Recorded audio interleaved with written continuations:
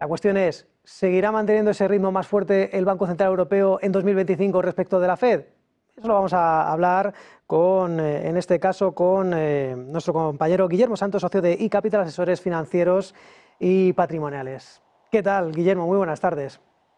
Hola, ¿cómo estáis? Muy buenas. Bueno, las perspectivas de bajadas de tipos del Banco Central Europeo yo creo que están muy claras para la próxima reunión. Hay quien habla incluso 50 puntos básicos. ¿Tú cómo lo ves?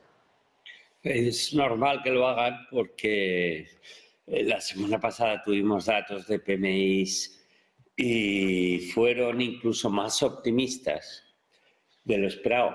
En Estados Unidos eh, avanzaron en servicios, en manufacturas, pero eh, justo lo contrario en Europa, ¿no? pero es que la eurozona sigue teniendo como gran detractor el índice de confianza del sector manufacturero, pero hubo una decepción añadida, que fue el indicador de servicios, que llevaba, atención, nueve meses en terreno expansivo y cayó inesperadamente por debajo de 50 hasta 49,2.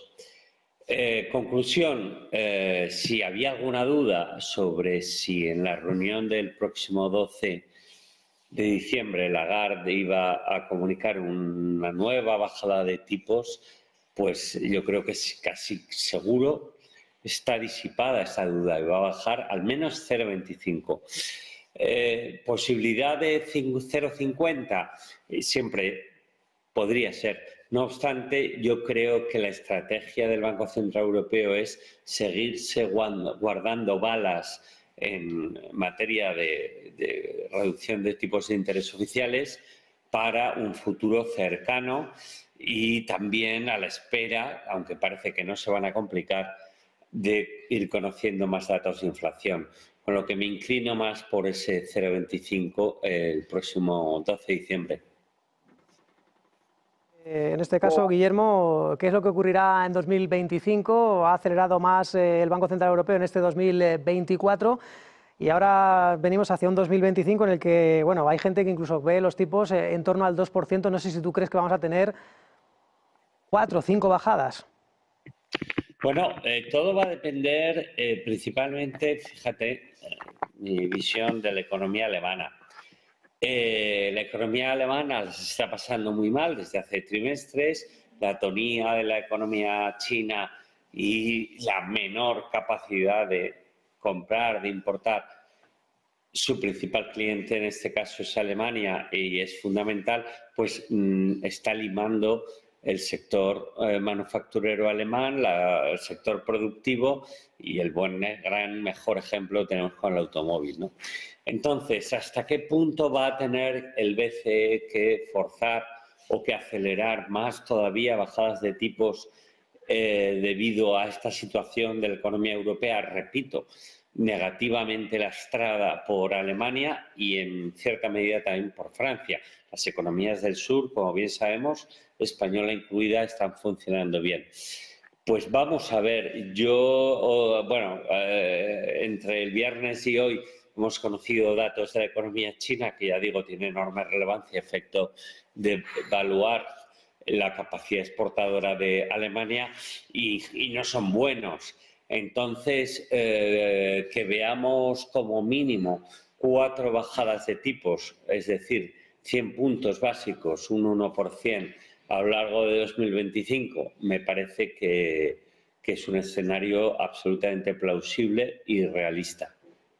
Y la cuestión es, eh, los principales peligros de Europa son, en este caso, la economía alemana, siguiendo muy de cerca, eh, Francia, la inflación, que se espera que repunte, y la cuestión es, en Estados Unidos, ¿cuál es el principal peligro? Eh, Guillermo, en este caso, el que esté demasiado sólido el mercado laboral. Bueno, el principal peligro de Estados Unidos es que la inflación no acaba de encauzarse. Y quieras o aunque como aquí en Europa vienen de muy arriba y han conseguido pues, el, aparentemente domarla, pero eh, todavía se mueve, especialmente al subyacente, en entornos del 3% que son incómodos. Entonces, es de ahí el principal riesgo. De hecho, el, el recién nombrado eh, presidente del Tesoro eh, americano, que ahora no recuerdo el nombre, el nombre de, pila, pero se llama Besant, pero bueno, este hombre más o menos comulga con las políticas de Trump, sería contradictorio, ¿no? Que Trump lo nombrara sin... Pero uno de los datos que comulga de manera plena es que él busca una eficiencia energética en Estados Unidos con el objetivo de la independencia energética, es decir, que no dependa el nivel de precios en nuestro país del el, precio del crudo, ¿no? Porque seamos los, sigamos siendo, ya lo son, los primeros productores del mundo. Entonces, eh, petróleo, gas, eh, shell gas, shell oil, el famoso fracking. Entonces, esto, eh, este primer nombramiento de, vamos a decir, campanillas de Trump, pues va en esa línea, en una de las políticas, ¿no? También es un, es un, no, es, una persona, parece nada radical, eh, y tampoco va a aplicar políticas que lleven a excesivos de, eh, déficit públicos, con lo que por ahí bien, porque aparte de la citada inflación, en Estados Unidos el, problema número dos o número uno, depende cómo lo veas, es la solvencia, ese peso de deuda pública enorme y ese déficit público de largo superior al 6%.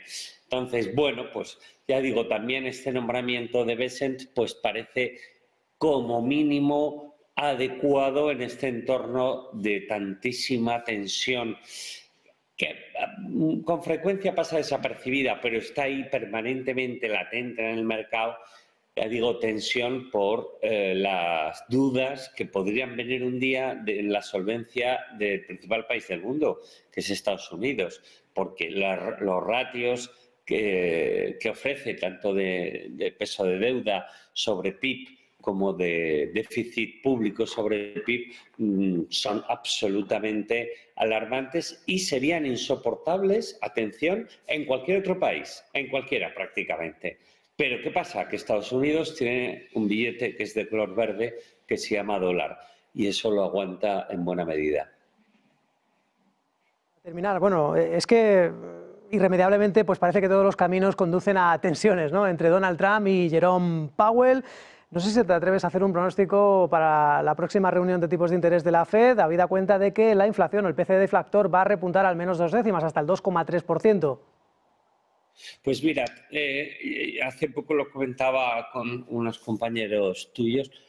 Eh, yo creo que no va a mover tipos eh, la Reserva Federal el principal motivo es que eh, desde el punto de vista de la economía, igual que eh, comentábamos para Europa, pues en Estados Unidos es eh, el lado casi totalmente opuesto, es decir, una economía con una velocidad y una atracción asombrosamente potente y aparentemente insaciable, porque los datos que vamos conociendo reflejan una actividad en todos los sectores llamativamente favorable. Entonces, si la economía no lo necesita y los datos de inflación eh, me ponen, si fuera yo Powell, en una situación un poquito al límite de forzar demasiado la máquina y después de lo que ha costado bajar del 10% de inflación que teníamos hace 18 o 20 meses hasta los niveles actuales,